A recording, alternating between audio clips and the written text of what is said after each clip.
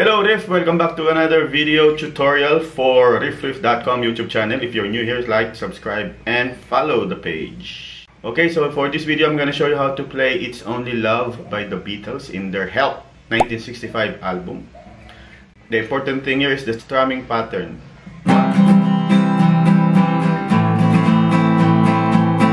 So basically, the first count would be down, down, up.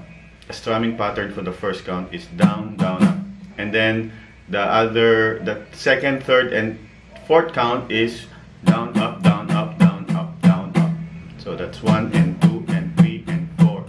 Okay, for the intro, the chords is a C and an A minor here. Alright, so with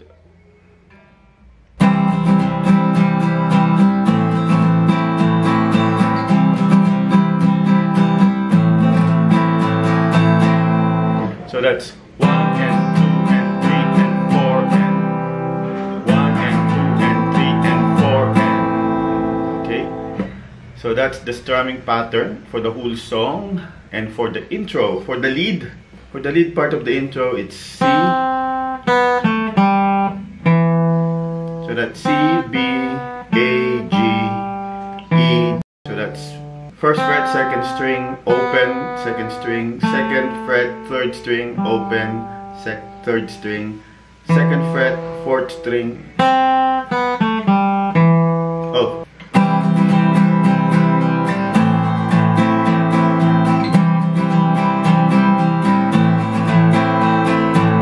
That's it for the whole song. I hope you learned something. The chords will be listed here. C minor, a C or C or C, A minor, F, G, and G augmented. G, G augmented is first string, third fret, fourth string, second fret, fourth string on the third fret, and fifth fret on the fourth string. You can do it like that or you can do it with a bar since it will be the chord right after G. Like this.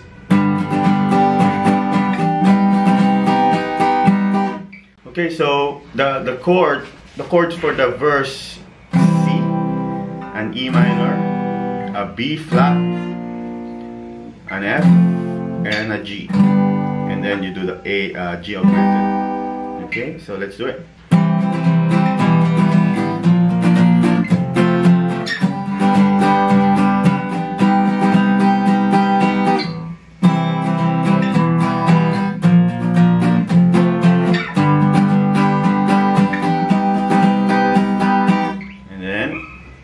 Pre-verse, pre-chorus. This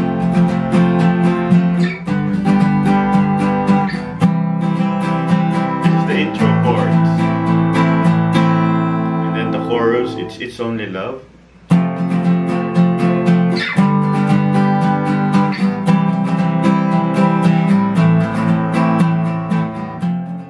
And then the outro is the same chords as the intro.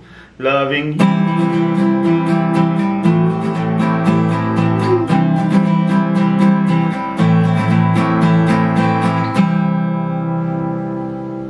Okay, like, subscribe, follow for more guitar tutorials, especially on the Beatles. Bye-bye.